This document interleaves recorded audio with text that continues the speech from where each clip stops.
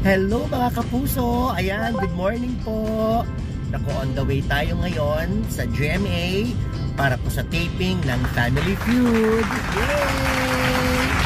Ay, naku, nakakapagpapicture na ako sa gwapong-gwapong Ding Dong Dantes.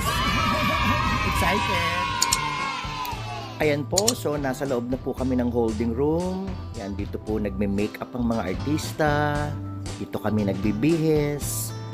Dito rin namin hihintayin kung cue na namin or kukuna na kami, tatawagin na kami dyan. O, diba?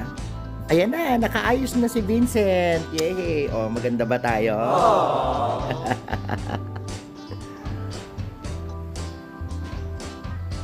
And then, eto na, konting chikahan kami. Yung aking kasama pang dalawang guest na makakasama ko sa team. Ayan na sila. So, medyo medyo nag-uusap na kami, nagre-review kami ng konti kung paano diskarte. Talagang very competitive kami.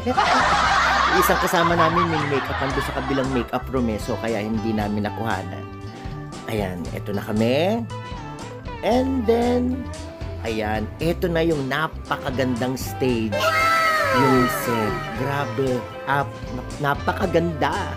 Masyashock ka talaga pag nandun ka na sa loob ng set. At eto na, pinapractice na kami kung papaano at ano ang aming mga gagawin at saka kung saan yung mga pwesto namin, yung aming blocking.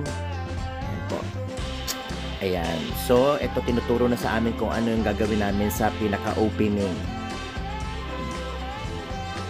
Ayun na po si Dong. Ayan.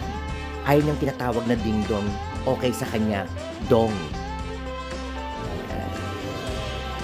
Alright. Naku, pakaabangan nyo po yan, no? Sana manalo kami. Sana manalo kami. Hintayin ninyo. Napakasaya po ng episode na yan. Abangan po natin sa Family Feud